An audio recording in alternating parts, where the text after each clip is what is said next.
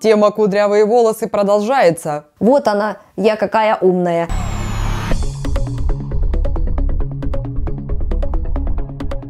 Hi everyone, с вами Ева Лорман. Я автор и ведущий этого канала, который посвящен красоте. Подписывайтесь на канал, жмите на колокольчик, чтобы не пропустить новые видео. А мы let's go, друзья. Следующий пунктик. И еще огромная, большая просто ошибка злоупотреблять термообработкой. Плойками, утюжками. Даже слово злоупотреблять здесь не совсем уместно. Вот именно для таких волос, для пушистых волос, это нельзя просто делать. Это очень вредно для обычных волос, а для пушистых волос это вообще катастрофа. И еще одна фишка. Многие думают, что перед утюжком, нанеся какое-нибудь защитное средство, мы такие дарим вторую жизнь нашим волосам. А фиг, вы угадали. С этими средствами вообще надо быть мега аккуратными. Там есть свои правила. Это выбор температур воздействия по конкретному составу. Иначе после нанесения их и работы на очень высоких температурах, недопустимых, например, для конкретного именно типа защиты, я надеюсь, вы понимаете, о чем я говорю. Я про спреи говорю. Когда мы работаем утюжком или феном, или плойкой, часто мы обрабатываем волосы и думаем, что вот она,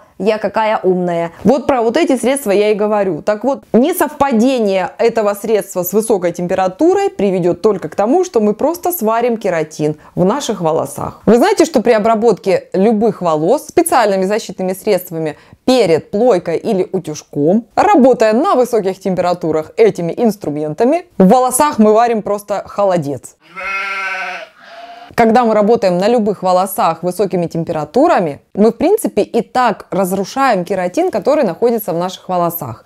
Но дело все в том, что если мы дополнительно туда вводим еще специальные средства, типа защищающие от воздействия высоких температур. Когда мы начинаем обрабатывать пряди этими средствами, что мы видим? Мы видим, как идет пар, просто дым валит из этих волос. И многие, да, ничего страшного, это просто кипит этот состав. А теперь представьте себе, как этот состав может кипеть отдельно от нашего кератина. Никак. Они потом вместе закипают и вместе кристаллизуются. В итоге спрей, который мы нанесли, он замечательно впаивается в волосы, а кератин, который находится в волосах, он варится в этот момент. Блюдо из кератина. Для неокрашенных волос или волос, которые не проходили серьезную химическую обработку, это супер осветляющими сериями или же порошками, такие воздействия, конечно, не так катастрофичны в силу их толщины. То есть нормальные волосы имеют достаточно большую толщину, ну, образно говоря, конечно. Там, конечно, наномиллиметры, но если эти волосы сравнивать с тонкими, кудрявыми, пушистыми волосами, то эти волосы очень сильные по сравнению с этими кудрявыми, пушистыми волосами. Потому как я вам уже говорила, что по теории в этих волосах либо нет вообще сердцевины, либо она там очень маленькая. То есть эти волосы изначально очень слабые. И когда мы работаем на этих волосах специальными термическими средствами, то волос получает в принципе ожог, разрушение кератина, там кутикула также будет не очень сильная, и ее мы повреждаем. Мы вторгаемся в глубину волоса, там все хре варится. Если глубоко копать, то кератин разрушается даже от воздействия на него очень высоких температур, от 60 градусов. А в плойке мы сколько градусов обычно выставляем? Самые минимальные это 110 градусов. В утюжке та же самая система. А при кератиновом выпрямлении вообще на каких температурах работает мастер? На 200 и выше. И чем выше там будет температура, тем лучше, конечно же, запаяться все эти составы. Я не спорю, это вообще отдельная тема. Но в данной ситуации, работая с тонкими, вьющимися, кудрявыми волосами, их нужно холить или леять, на них нельзя воздействовать никакими термическими средствами в плане плоек или утюжков. И никакие спреи не защитят вам структуру вашего волоса, потому что это нереально абсолютно. Все производители, в принципе, указывают всю эту информацию, просто мы никогда ее не читаем. Часто они пишут, что этот спрей для того, чтобы его наносить перед работой, например, утюжком или плойкой. Хорошо, но также он там указывает, какими температурами максимальными можно работать на этом средстве.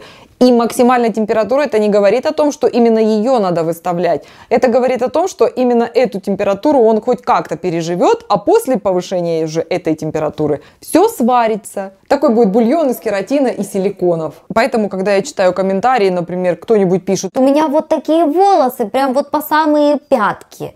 И вот я всегда вот делаю себе кератиновое выпрямление волос. Или там я всегда выпрямляю себе волосы утюжком каждый день. Я без этого жить не могу. Я никогда не выйду на улицу, если я не выпрямлю волосы утюжком. Я даже мусор не вынесу. Да, бога ради. Это личное дело каждого. Это говорит о чем? Это говорит лишь о том, что у данного человека просто-напросто толстые волосы. Они вот бревно по сравнению, например, с этими же пушистыми вьющимися волосами. Даже по сравнению с нормальными волосами они тоже как бревно.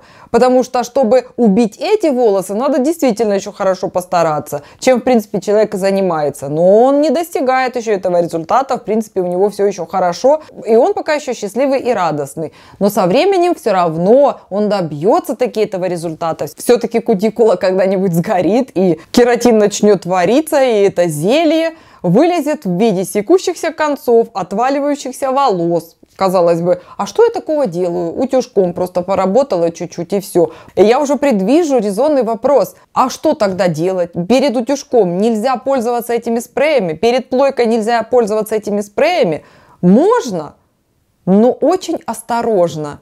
То есть ни в коем случае нельзя работать на высоких температурах по этим даже спреям. Наличие этого спрея на наших волосах не дает нам никакого права обжигать волосы, думая, что там какая-то защита. Ни один спрей не способен защитить волосы от очень высокой температуры. Зато теперь есть сравнение. Если у нормальных волос есть проблемы, если нормальные волосы начинают отваливаться от температур утюжка или плойки. Что можно говорить про тонкие, вьющиеся или кудрявые волосы? Нет, я никого не пугаю. Я просто констатирую факты. И никогда не поверю в то, что если вдруг у кого-то тонкие волосы, и утюжком человек каждый день там завивает себе кудри или выпрямляет волосы, и у него с этими волосами ничего не происходит, вот в это я никогда не поверю. А то многие думают, что защитные спреи это все, что в жизни надо.